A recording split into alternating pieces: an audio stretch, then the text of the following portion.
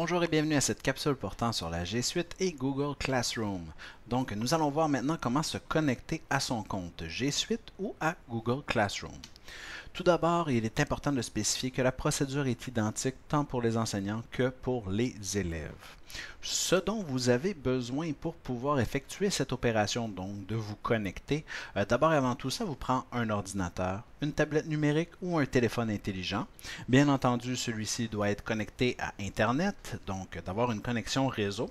Et le plus important, c'est d'avoir obtenu les informations de connexion fournies par l'établissement scolaire, soit euh, l'adresse courriel qui vous est attribuée et euh, le mot de passe si celui-ci vous l'avez déjà défini ou c'est à vous de le définir.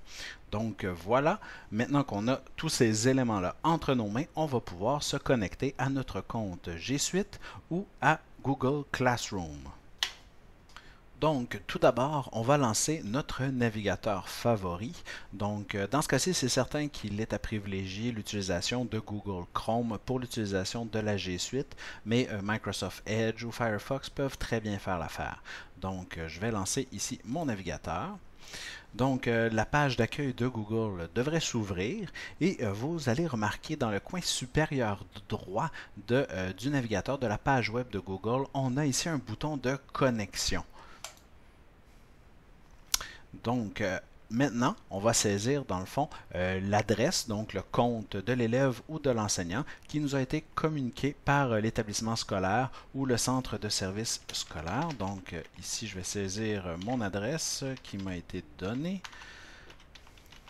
Une fois notre adresse saisie, on va cliquer ici sur Suivant. Ensuite, on va nous demander ici de saisir un mot de passe. peut-être l'avez-vous déjà défini, peut-être celui-ci vous a été communiqué également par l'établissement peut-être allez-vous à le euh, redéfinir, à le ressaisir. Donc, il est possible que vous ayez un mot de passe ici temporaire. Donc, je saisis ici euh, mon mot de passe. Je clique sur suivant et nous voilà connectés. Donc, euh, on peut ici fermer la fenêtre qui nous a été demandé de sauvegarder, d'enregistrer le mot de passe. C'est vous qui voyez.